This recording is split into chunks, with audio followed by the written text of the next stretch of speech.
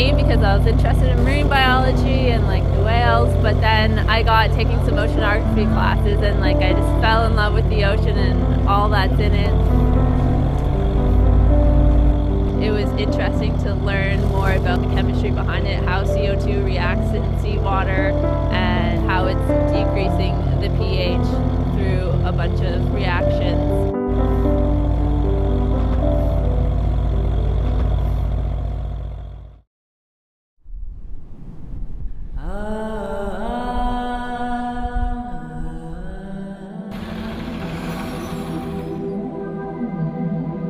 The ocean takes up a lot of carbon from atmosphere after we're driving a car and heat up the house.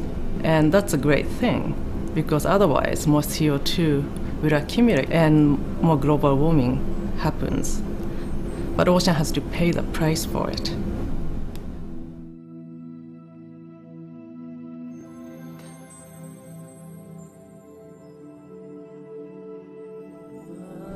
When CO2 dissolves in the ocean, that react with water molecules and produces carbonic acid. That's acidification.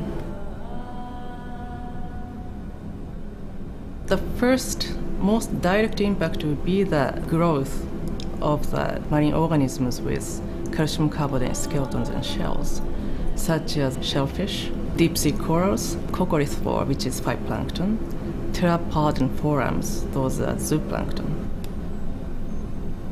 Zooplankton is uh, the food for the fish. So if you lose that zooplankton, the food source is gone for the fish. That means fish population will be affected.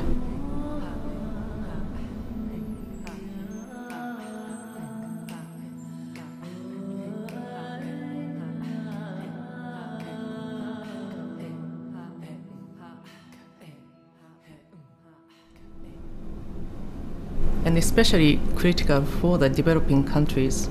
Um, those countries very poor and depending on the protein source to the seafood, and those people will be affected. So it's a huge socio-economic impact.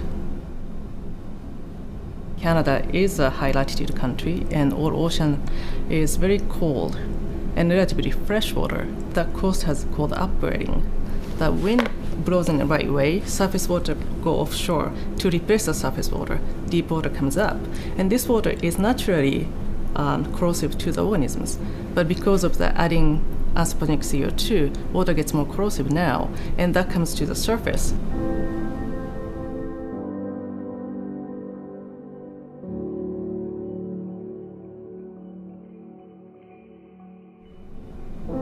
West Coast US and Canada is suffering this corrosive water already.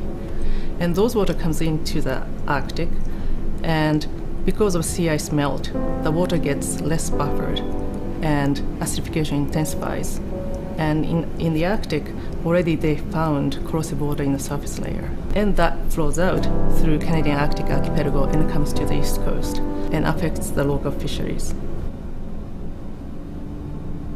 The monitoring of the ocean is, is a priority. It's important to gather data in, in climate sciences. So you have to go every year or every season in same region and understand the change and rate of change.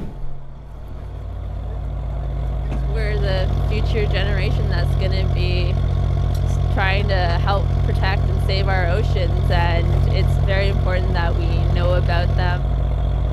This is happening, and let's try and prevent it. The speed of change is, is much, much faster than any geological timescale of last maybe 25 million years. The concern is that the rate of change is so rapid that organisms in the ocean cannot adapt to this speed. There is no sort of uncertainties about ocean acidification as long as atmospheric CO2 level increases. It's directly reflect to the ocean acidification.